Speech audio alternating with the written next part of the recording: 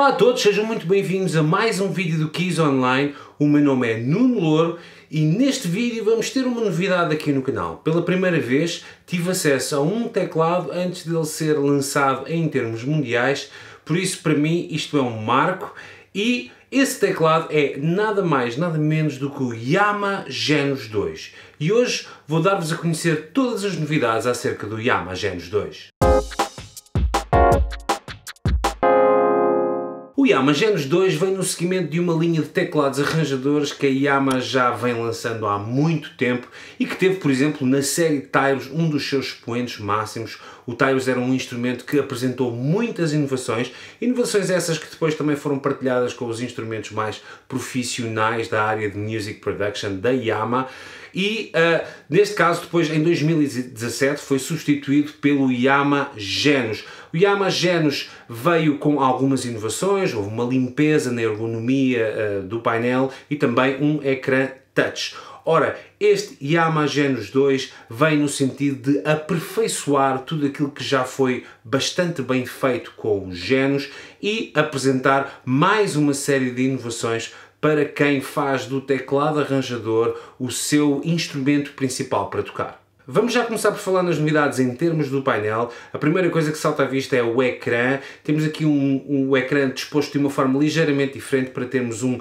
ângulo de visão maior e também revestido com uma camada anti-refletora para que nós não tenhamos problemas com a luz a incidir ou mesmo com o sol quando estamos a tocar ao ar livre. Depois, Olhando para a esquerda conseguimos ver que temos LEDs tanto nos sliders como nos knobs, o que é bastante útil porque quando nós uh, mudamos de som ou de preset temos automaticamente a noção de onde é que estão os parâmetros de cada um destes uh, knobs ou sliders e mais abaixo temos novo, os dois novos botões para o Chord Looper, o que nos permite muito mais facilmente e em tempo real fazer gravações de sequências de acordes conforme formos necessitando ao longo de uma música. Ora, se formos mais para a esquerda, conseguimos ver que temos agora três botões assignáveis que nos permitem ter mais funções, isto para além dos outros seis que já existiam do lado direito. Do lado direito nós temos então os nossos botões para aceder aos menus, seja Style, seja Voice, seja Playlist, etc. Temos os tais botões assignáveis e temos também a escolha de sons em que podemos ligar e desligar as partes da mão direita e da mão esquerda. Um pormenor que foi adicionado também no Genos 2 é o facto de agora temos uma saída HDMI para ligarmos a um ecrã externo para quando queremos, por exemplo, ter uma letra a correr no ecrã ou outra utilização desse género, agora é tudo feito por HDMI, o que é muito mais conveniente. Vamos passar então do painel para o som e aqui há uma grande novidade que é a adição do FM Synth. O FM Synth é basicamente o motor sonoro que utilizava o famosíssimo Yamaha DX7 dos anos 80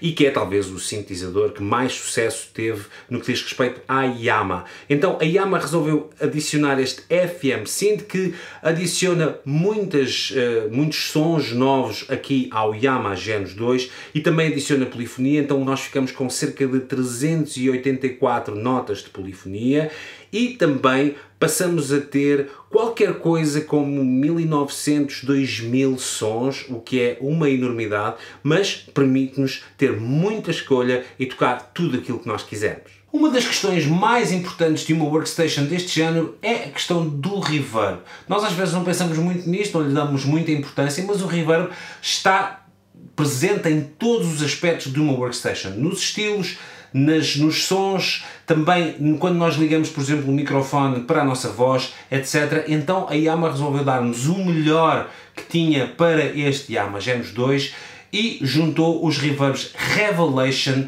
de Steinberg. São uns reverbs desenvolvidos especialmente pela Steinberg e que têm um som verdadeiramente especial e eu quero mostrar-vos isto aqui com os sons de piano e também com os sons do novo FM Synth que eu referi há pouco.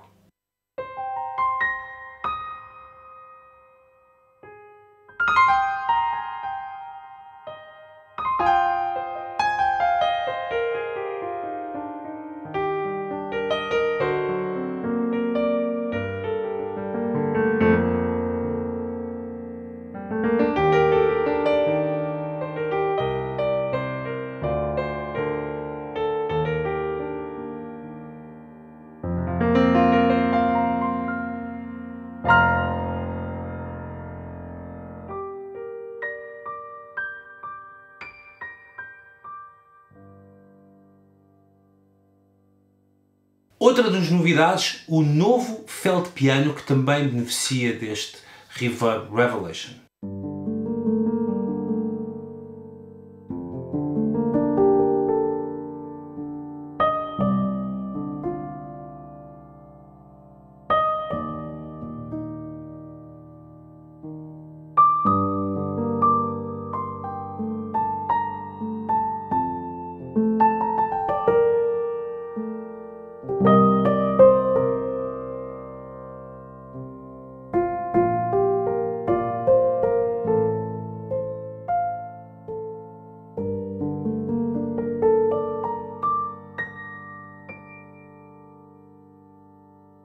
Nossos sons FM Synth.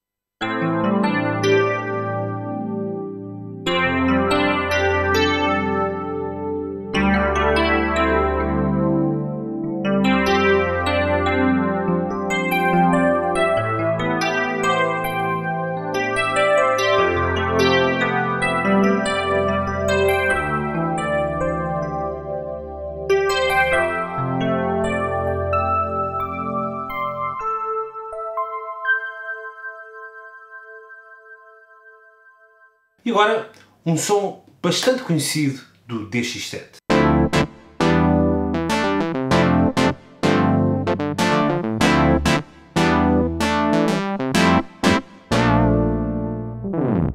Por falar em Yamaha DX7, se eu fizer agora uma pesquisa e escrever aqui DX7,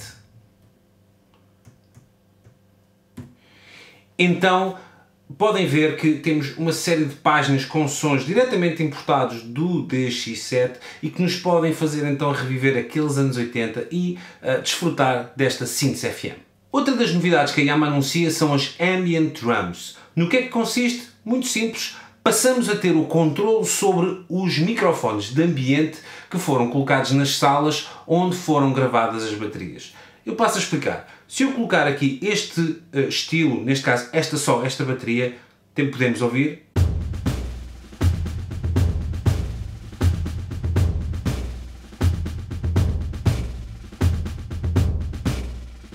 Neste caso eu reduzi o Live Control para o zero, para nós basicamente estarmos só a ouvir o som da peça da bateria. É como se não, não houvesse sala, ok? E agora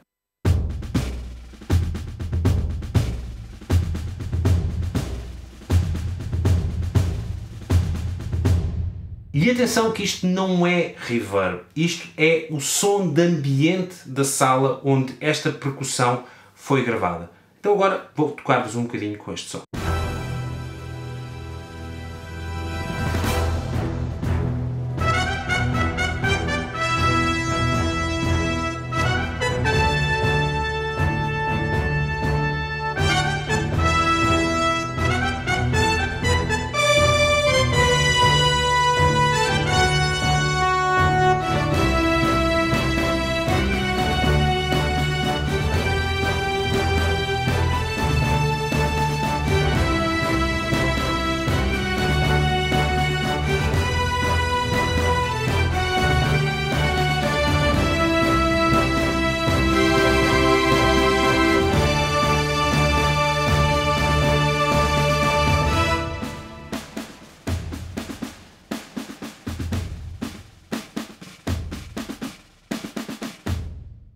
E agora o Dynamic Control. Dynamic Control implica que nós consigamos ter controlo não só sobre o volume do estilo, mas sim sobre a forma como os músicos ou os instrumentos do estilo tocam uh, os seus instrumentos. Neste caso eu vou exemplificar-vos com a bateria, que é o mais fácil, mas depois todos os instrumentos vão acompanhar esta mudança de dinâmica. Então eu vou colocar aqui este também este estilo a tocar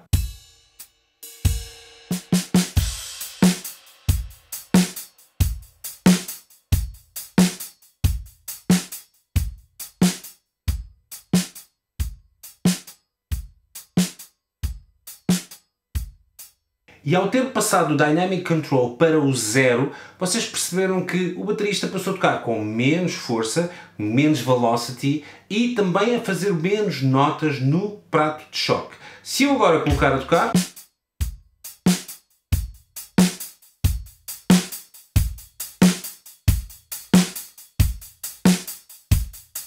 Conseguem perceber que, para além de mais velocity, ou seja, estar a tocar a bateria com mais força, a abordar um instrumento com mais força, temos também mais notas de prato de choque. E isto acontece com o estilo todo, ou seja, todos os instrumentos se vão adaptar a esta mudança dinâmica que nós quisermos para o nosso estilo. Vou mostrar-vos.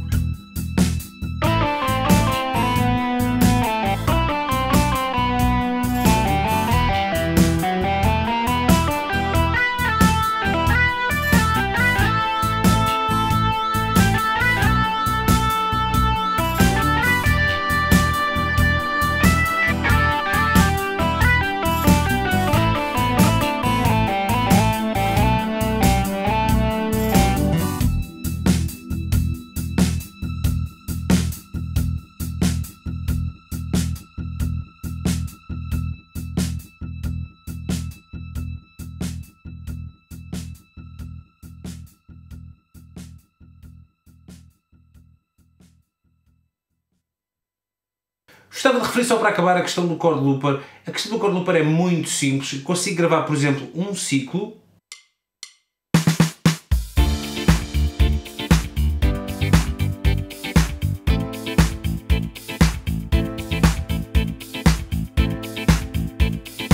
e agora consigo pô-lo a tocar e tocar com o teclado todo disponível para fazer o que eu quiser.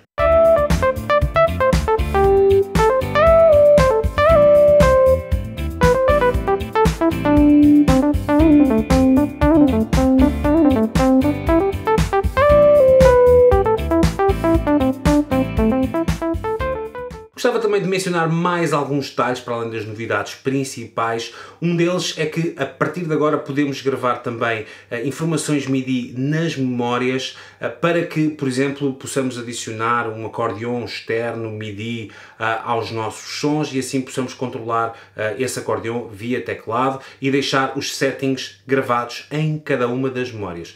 Outro aspecto também muito importante, foi criado um novo programa para transformar MIDI files em estilos, eh, que funciona de uma forma muito simples e que acaba por tornar muito mais fácil que nós consigamos transferir a nossa música favorita para o teclado e utilizá-la como se de um estilo se tratasse.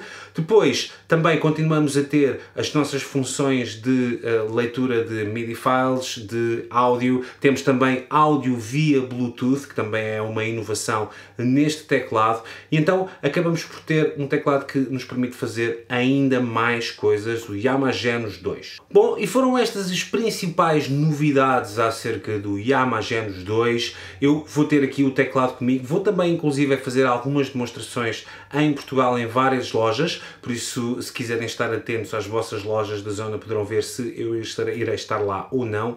Mas, eh, basicamente, queria depois, com o tempo, fazer um vídeo um pouco mais detalhado. Por agora ficam só estas novidades para que vocês fiquem a saber tudo sobre o novo Yamaha Genos 2. Espero que tenham gostado deste vídeo. Se sim, façam um like, subscrevam o canal e eu vejo-vos no próximo vídeo. Obrigado!